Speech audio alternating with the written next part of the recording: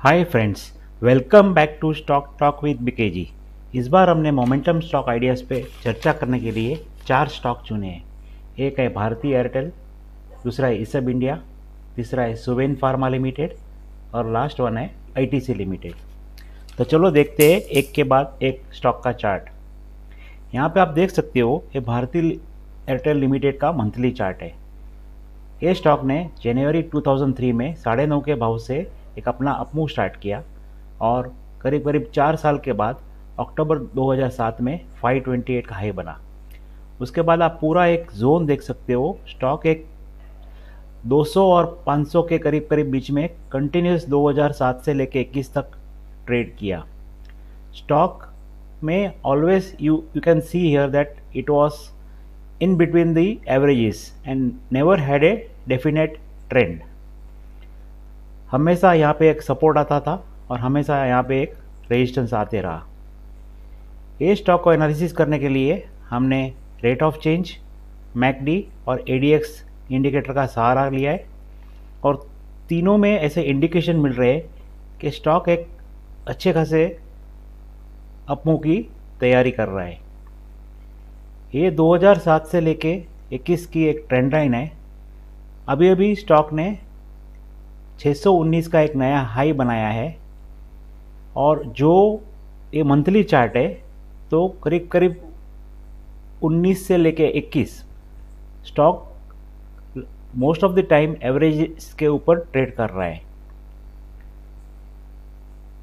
तो ये सब कारणों को देखते हुए हमें लगता है कि जो 2003 से लेके सात का एक अप ट्रेंड उसके बाद पूरा सात से लेके 21 का कंसोलिडेशन जोन और आप, आप पूरा पीरियड देखोगे तो ये पूरा पैटर्न है वो 2003 से लेके 21 तो हमें लगता है कि भारतीय एयरटेल जिसका करंट मार्केट प्राइस 607 है वो आने वाले दिनों में उसका टारगेट 900 और 1100 आ सकता है। और अगर ये स्टॉक बीच में नीचे आता है तो उसका बाय एरिया है 590, 573, 559, 545 और 537 और ए ट्रेड में 495 का स्टॉप लॉस रखना ज़रूरी है।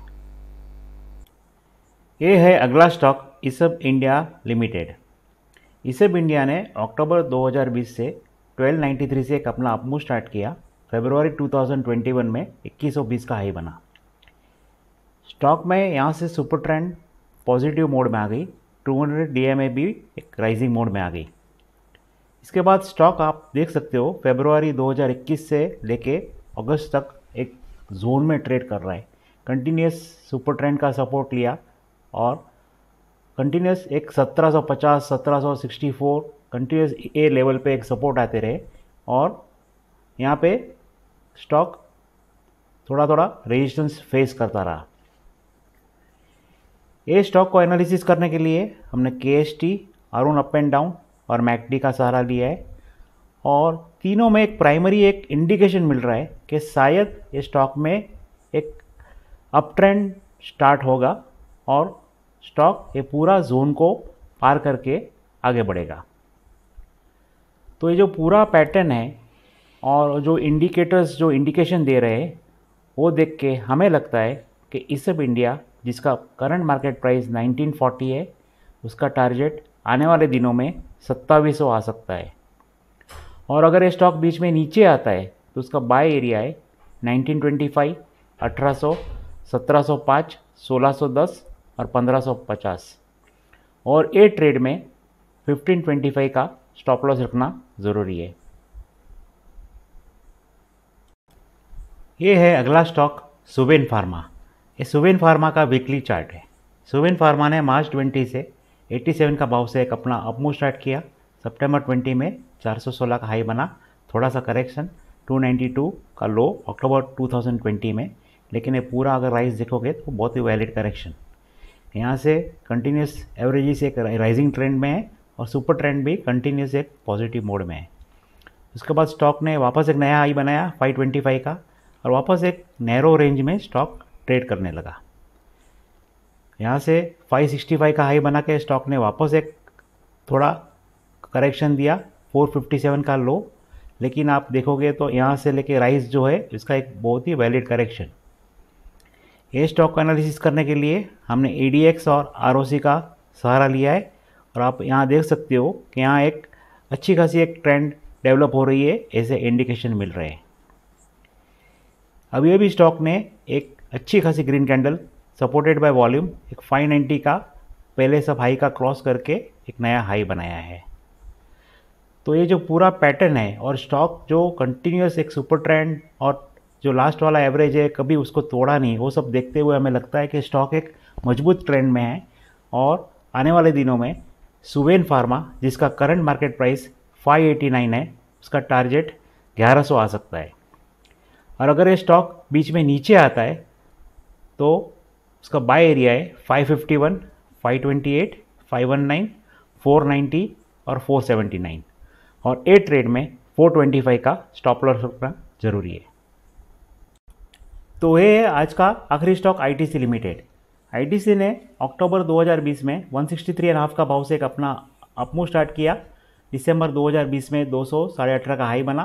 थोड़ा सा नीचे कंसोलिडेशन जोन वापस एक अच्छा अप ट्रेंड फेब्रुआरी 21 में 239 का नया हाई स्टॉक में आप देख सकते हो कि यहाँ से कंटिन्यूस एक 200 टी एम अप ट्रेंड में ट्रेड करने लगी है।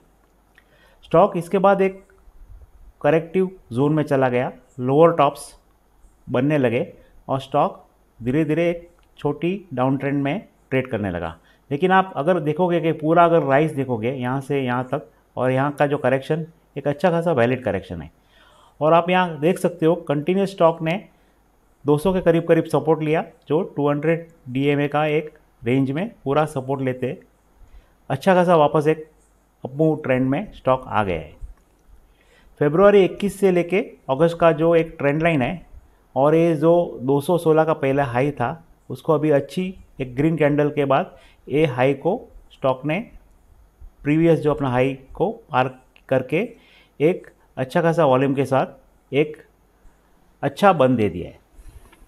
ये स्टॉक को एनालिसिस करने के लिए हमने K S T A D X और मैकडी का सहारा लिया है और तीनों में अच्छी खासी पॉजिटिव ट्रेंड डेवलप होने जा रही है, ऐसे इंडिकेशन मिल रहे हैं। स्टॉक ने जो फेब्रुआरी का जो इंडेक्स था सेंसेक्स और निफ्टी वो दोनों इंडेक्सिस ने अपना फेब्रुआरी का हाई को पार करके एक नया जोन में ट्रेड कर रहे हैं। लेकिन ये स्टॉक पूरा अंडर परफॉर्म कर रहा है अभी। लेकिन ये सब इंडिकेटर्स का एक इंडिकेशन और स्टॉक में जो अभी एक जो नैरो जो जोन नैरो रेंज और एपेक्स से एक पॉसिबिलिटी ऑफ़ ब्रेकआउट जो अगला हाई को शायद पार करके स्टॉक आगे बढ़ेगा। तो ये सब देखते हुए हमें लगता है कि आईटीसी जिसका करंट मार्केट प्राइस 215 है उसका आने वाले दिनों में टारगेट 285 आ सकता है।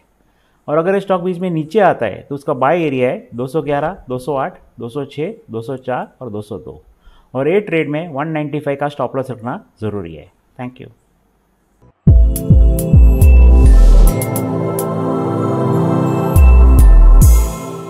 Investment in the securities market are subject to market risks. Read all the related documents carefully before investing.